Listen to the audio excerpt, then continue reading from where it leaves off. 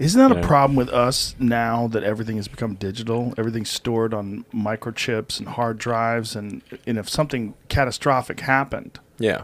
and you don't have the ability to access all that stuff, we're kind of starting from scratch. Yeah, absolutely. Um, it's kind of problematic that things aren't chiseled in stone. You know, they used to Yeah. be chiseled in stone, and we're like, okay, now, you know, it's kind of a pain in the ass to destroy stone, and stone lasts a long time. Yeah. So we still have a lot of writing from the ancient Romans because they chiseled a lot, a lot Yeah. of stuff in stone. Or the Egyptians, Oh, the Egyptians, yeah, exactly. Man, the, the Egyptians really went to town with the hieroglyphics.